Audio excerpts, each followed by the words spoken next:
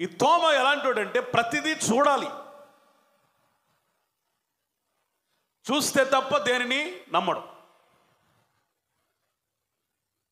లాజర్ చనిపోయినప్పుడు ఏసయ్య లాజర్ ఇంటికి వెళ్ళి మనం స్వస్థపరుద్దాం అంటే ఏమన్నాడు? మనం ఇప్పుడు చనిపోబోతున్నాం అన్నాడు. అంటే అర్థం ఏంటి? యేసు ప్రభు అక్కడికి వెళ్తాడు చచ్చిపోయాడు మురిగిపోయిన సేవ ఎట్లా బ్రతికిద్ది? ఇప్పుడు ఏసఐ కనుక అక్కడ ఫెయిల్ అయితే ఆయన పక్కనున్న మనం కూడా ఏమైపోతాం? అంటే ఏసై మీద ఎంత బ్రహ్మాండమైన విశ్వాసం చూడండి. అద్భుతాలు చూసినోడే కానీ అవిశ్వాసి.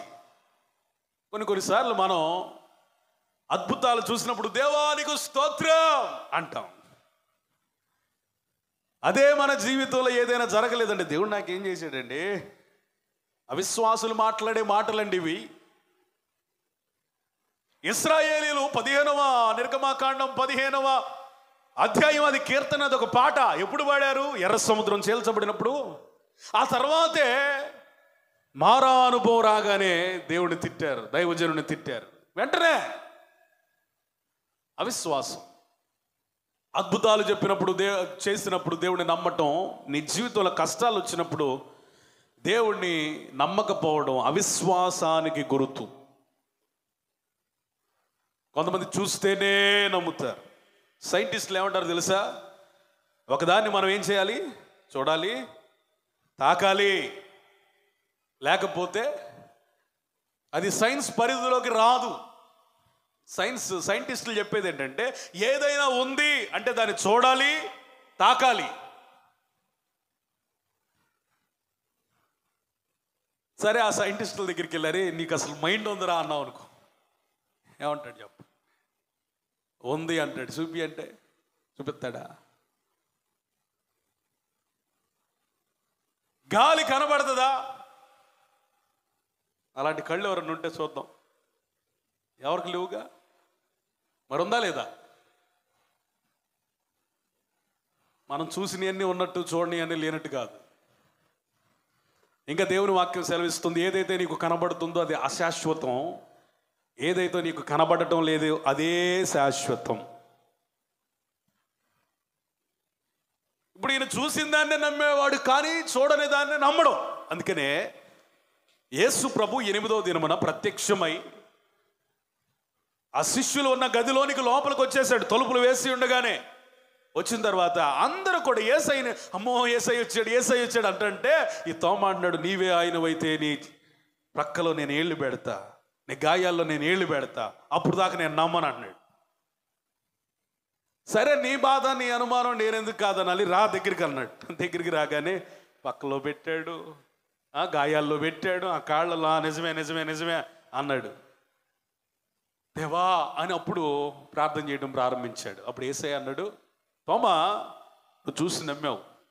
కానీ చూడక నమ్మినోళ్ళే ధన్యులు. స్తోత్రం. దేవుడిని నమ్మాలంటే జరిగితేనే నమ్ముతాను. దేవుడికి పంది వేస్తారు కొంతమంది. ఇది జరిగితే దేవుడు ఉన్నట్టు. లేకపోతే లేనట. ఉద్యోగం వస్తే దేవుడు ఉన్నట్టు లేకపోతే లేనట. కలిసి వస్తే దేవుడు ఉన్నట్టు లేకపోతే లేనట. కాదు. ఎంతటి అవిశ్వాసి ఎంతటి అల్పవిశ్వాసి అంటే కట్ చేస్తే దేవుడు తోమాని విశ్వాసిగా మార్చేశాడు. స్తోత్రం. అవిశ్వాసిని ఎలా మార్చేశాడు? విశ్వాసి మామూలు విశ్వాసి కూడా కాదండి విశ్వాస వీరునిగా మార్చేశాడు. మీకు రెండు మూడు పర్యాయాలు చెప్పాను అయితే ఈ సందర్భంలో ఇంకొకసారి చెప్పడానికి ఇష్టపడతా ఉన్నాను. ఎంతటి గొప్ప విశ్వాసం తన విశ్వాసం ద్వారా ఎలాంటి గొప్ప కార్యాలు చేశాడంటే తను ప్రకటించిన సువార్త కేరళ తమిళనాడు రాష్ట్రాలను మార్చేసింది విదేశాలను ప్రభావితం చేసింది.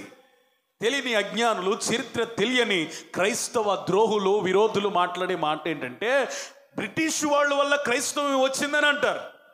కానీ మరుగై ఉన్న చరిత్ర బహిర్గతమైన వాస్తవం ఏంటయ్యా అంటే ఆ యొక్క బ్రిటిషర్స్ రాకముందే ఇంగ్లీష్ వ్యక్తులు రాకముందే తోమా ద్వారా ఆల్రెడీ స్వార్థ ప్రకటించబడింది. క్రైస్తవులు వాళ్ళు రాకమునిపే ఉన్నారు. స్తోత్రం. ఎంతటి అవిశ్వాసి మాట్లాడితే ప్రజలు మారిపోయారు!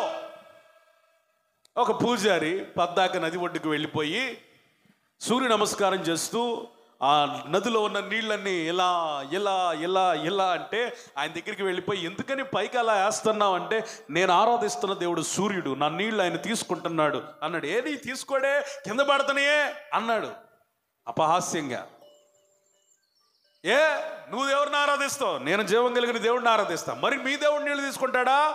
తీసుకుంటే నా దేవుడిని నమ్ముకుంటావా? అన్నాడు. అమ్ముకుంటా దాన్ని చూద్దాం అని అక్కడికి వెళ్ళిపోయి ఆ నీళ్ళని తీసుకొని ఏసునామములో అని ఇలా అన్నాడు ఏసు ఇట్లా అనగానే ఏమైపోయింది తెలుసా? ఆ నీళ్ళు నిలిచిపోయను. చప్పుడు కూడా దేవునికి స్తోత్రం చెప్పండి.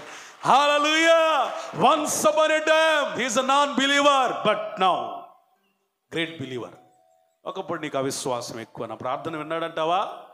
నా కార్యాలు జరుగుతాయి అంటావా ఇలాంటి అవిశ్వాసం ఉన్న తోమా వంటి నీ మన మనస్తత్వాన్ని దేవుడు విశ్వాసముతో నింపును గాక దేవునికి స్తోత్రం చెప్పండి.